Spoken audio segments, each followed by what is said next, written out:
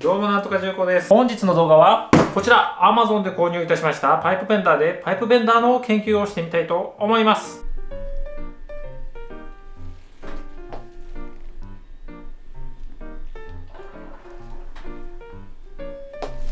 そもそもですねパイプを曲げたい理由なんですが以前の動画の内容にありましたスイングアームを製作したいというものの中にですね楕円パイプを曲げたいっていう要求があるんですけれどもパイプそのものをケロは曲げたことがないということで一旦こちら12パイと16パイのパイプを用意いたしましたのでテストしていこうと。で用意いたしましたのは Amazon で購入いたしましたパイプベンダーです。比較的構造が理にかなってるなと思いましたので参考に買ってみました、えー、ではやっていきたいと思います。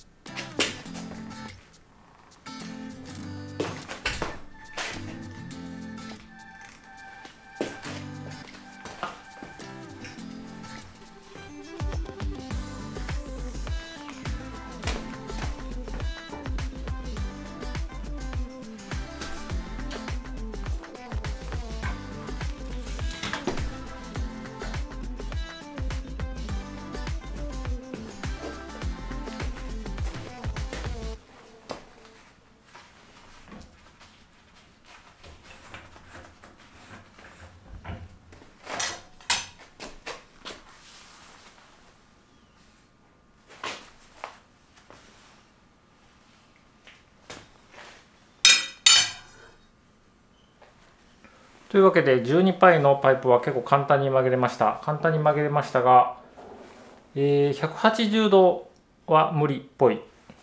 何度だろう。まあこんぐらい。こんぐらいです。で直径11.9のパイプ。曲げの中ほどの幅は12.6ちょっと広がってる。曲げ中ほどのパイプの径10.7なので、まあ多少潰れてるんですが、まあまあステーとかに使う分には許容範囲の潰れ具合かなと思います。どうでしょう？結構綺麗に曲がったと思います。では、型を交換して16パイも曲げてみたいと思います。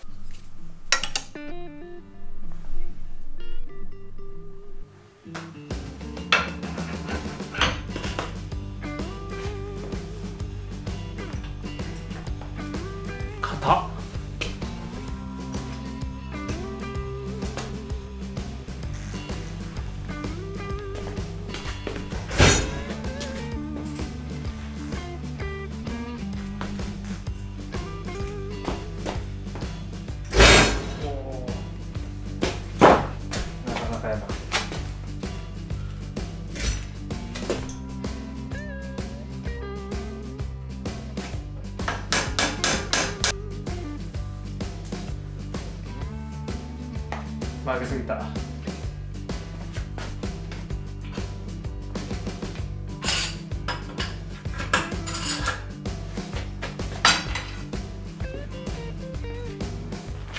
16パイも曲がりました。12パイに比べるとだいぶ硬い。のと、まあ、結構行き過ぎることが16パイだとできるので、えー、曲げすぎました。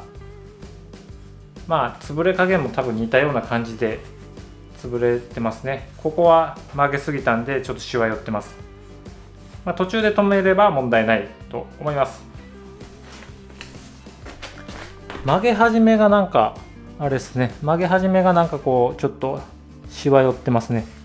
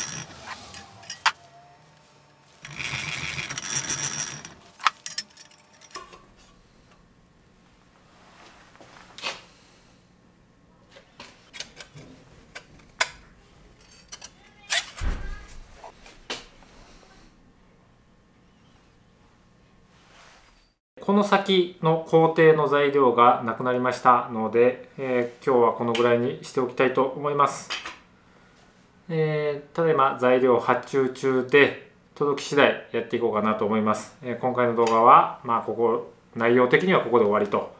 こちら CNC で切り抜きをしました。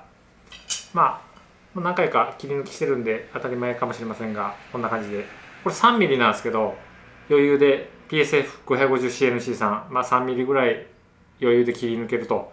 一発ですね。6パのラフィングエンドミルで一発で切り抜きました。で今回3本ロールを初めて使ってみました。3本ロールは10年以上前に購入していたものなんですが初めて使いました、えー、当時何か使うやろうと思って買ったんですが結局何も使わずずっと寝かし続けていたものです。いい感じにからしが効いていたおかげか非常に綺麗に曲がりました。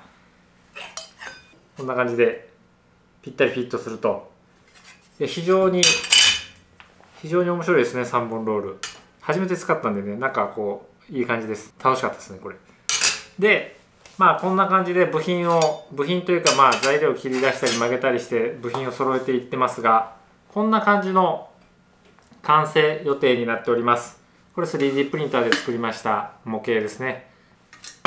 こちらにも、え 3D プリンターで作った模型がついております。完成形の形はこんな感じと。3D プリンターで模型を作る意味なんですが、まあ、組んでみたら組めなかったとか、えー、組めたけど干渉して動かせないとかっていうのが往々にしてケロの場合あるので一応確認するためにプリントしました。で実際にスイングアームに使いたいパイプが届きました。こちらです。手に取ってみて思うのはこれ曲げる無理かもしれないです。これあのね雰囲気がね強すぎ強すぎる。ちょっと無理かもしれないですね。はい。あのー、オーラがある。ちょっとまマジで曲げれないかもしれない。でまあ一応一応曲げれなかった時の方法も考えてあるのでまあいいんですがまあまあちょっとやってみたいと思います。で今作ってるこのサイズ感のロールベンダーの型はこの比較的小さい方の楕円パイプを曲げるための型を今作ってます。これ。だいぶサイズが違う。でまあこれはあの在庫でもともと持っててまあなんかステーとかに使うやろうと思って買ってたやつなんですけど、まあ、これをいっぺん曲げてみたいと思います。こいつが完成したら。えー、まあこの細い方で曲げれなかったらまあどうせこいつも曲げれないしちょっとテスト的に細い方で試してみようと思って今制作してます。でこの細い方で出た粗とかを、まあ、太い方を曲げる時に生かすのか、まあ、こいつがそもそも曲がらへんからこういう方式でこいつを諦めるのかするのか分かりませんがとりあえずそんな感じの予定でいます。である程度ツッコミどころもあるかと思うんで説明しておきますとこちらの方ご覧の通りパイプの曲げ R に沿った R がついておりません。ここの、えー、パイプの R に沿った R がここの角についてないですよ。これが必要なのかどうなのかっていうのが正直分かんなくてあった方がいいに越したことはないのはまあ分かるんですよ。ここに R がついてた方が絶対いいっていうのはまあ分かるんですけどなくてもいけるんちゃうかなっていう思い好奇心興味がありましてちょっと今回は、えー、ここの角 R なしでいっぺん実験してみたいなと思います。別に失敗したっていいんですよ。曲がらなくたっていいんですよ。ということでまあどうしても必要やということがあればつければいいな。と思ってます。というわけで材料が届きましたら再開いたしますのでどうぞよろしくお願いいたします。というわけで今回の動画は以上になります、えー、面白かった参考になったという方いらっしゃいましたらグッドボタンチャンネル登録どうぞよろしくお願いいたします。ご視聴ありがとうございました。